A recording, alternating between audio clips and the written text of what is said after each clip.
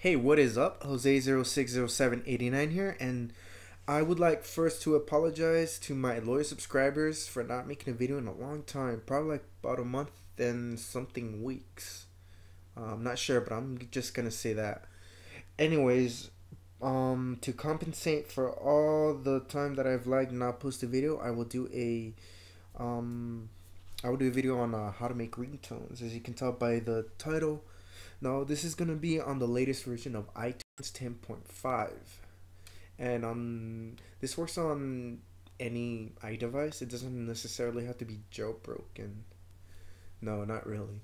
But anyways, to the point is, I'm gonna show you how to make those ringtones with the latest version of iTunes and uh, the latest firmware.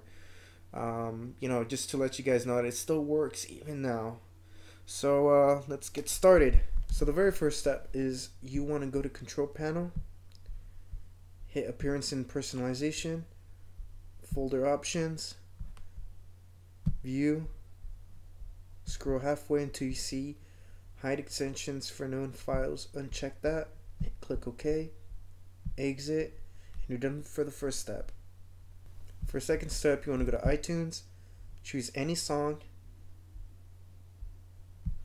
right click the song you want to make into ringtone, click get info, options tab, choose 30 seconds, any part of the song you want to make a ringtone. For this, I will use the very the beginning of the song until it ends at 30 seconds. Click OK. Right click again, create AAC version. Takes about two seconds.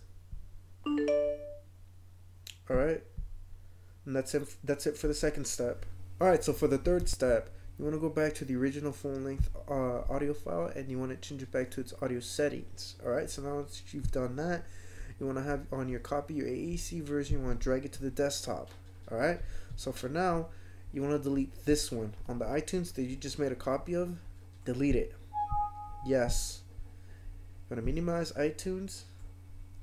And now, for your attention on this one, if step one went according to plan, you have the option to change the file type by renaming it from M4A to M4R. Pretty simple. And yes.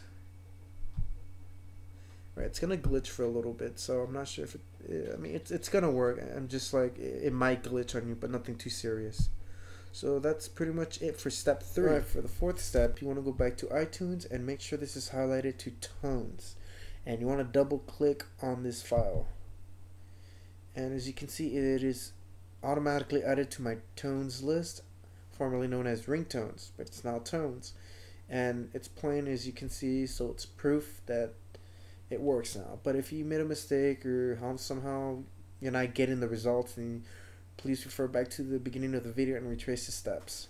So for the final step, once you figure out everything on on all the steps and you've managed to make your own ringtone, what you need to do is on the file, the original one, the ringtone file that you changed from M4A to M4R, you want to save that. You want to save that on your desktop. It doesn't matter where. In a folder would be recommended. For for when you actually play this again, you're gonna get a, a pop-up message saying you have to locate it. You locate it and you basically double click on wherever you put the file and that's pretty much it. So congratulations on you guys knowing how to make ringtones. It's pretty easy and simple. Uh, please rate, comment, and subscribe. So see you guys later.